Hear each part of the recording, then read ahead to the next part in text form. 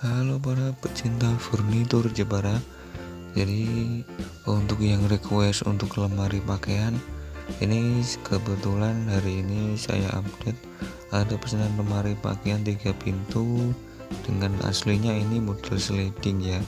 Tapi lemari pakaian ini dibuat engsel Jadi pintunya enggak geser.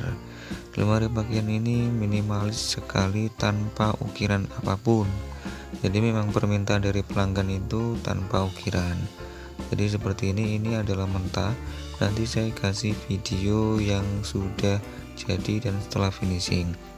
Jadi lemari pakaian ini mempunyai ukuran 155 cm kali 55 cm tingginya itu 2 meter ya. Jadi untuk yang bagian dalam juga nanti saya akan kasih videonya untuk anda jadi lemari bagian ini desainnya adalah desain lemari sliding atau cashier ya.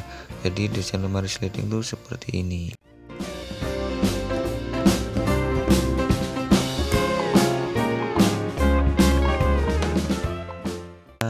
modelnya untuk ruang-ruang yang sempit cocok ya untuk pintu geser itu. Nanti tinggal geser seperti ini. Kalau yang ini pintunya sama seperti sliding tadi cuma ini pakai engsel. Nah ini bukan pakai engsel ini bagian dalam. Ini belum di servis dan belum di finishing jadi memang terlihat masih kotor ya masih kasar. Ini nanti udah udah plus kunci. Jadi lemari bagian ini kondisi mentah saya perlihatkan kondisi mentah karena semua proses insya Allah kita akan kasih untuk anda. Ini adalah proses penyetelan. Ini sudah selesai finishing.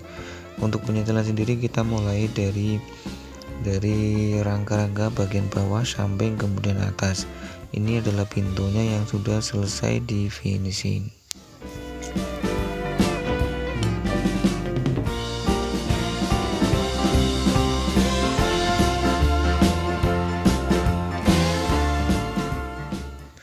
ya jadi bagian pagar-pagar kalau mau nyetel lemari itu dipasang dulu ya.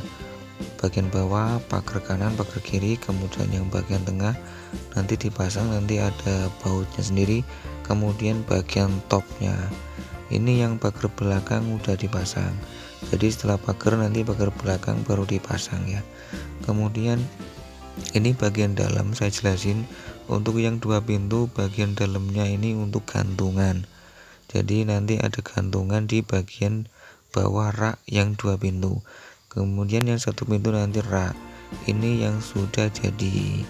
Jadi lemari bagian ini saya ulangi ukurannya 155 kali 55 tingginya itu 200 cm tentu harus anda sesuaikan dengan ukuran kamar anda ya. Jadi kalau kamar anda sempit kami rekomendasikan pakai lemari sliding saja dengan kapasitas dua pintu udah sangat cocok gitu ya. Ini bagian dalamnya yang tadi saya sampaikan pakai gantungan. Dua pintu pakai gantungan yang satu pintunya rak-rak untuk baju dan pakaian atau pakaian. Oke jadi lemari bagian ini harganya adalah 6 juta rupiah. Jadi banyak full kayu jati kemudian finishingnya melamin pakai melamin glossy. Jika anda berminat bisa hubungi dan konsultasi ke admin di nomor deskripsi box. Jadi sekian video dari kami lemari pakaian minimalis. Semoga bermanfaat untuk anda. Wassalamualaikum warahmatullahi wabarakatuh